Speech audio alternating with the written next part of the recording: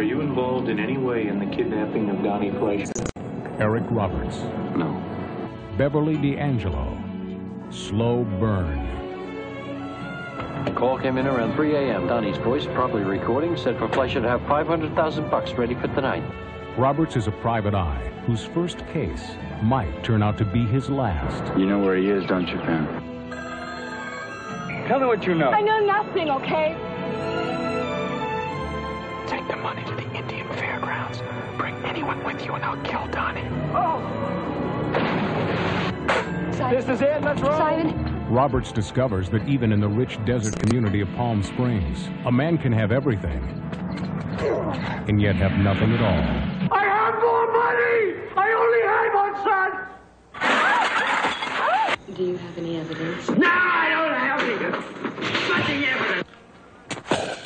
Nothing can cool the heat of a slow burn. It's over.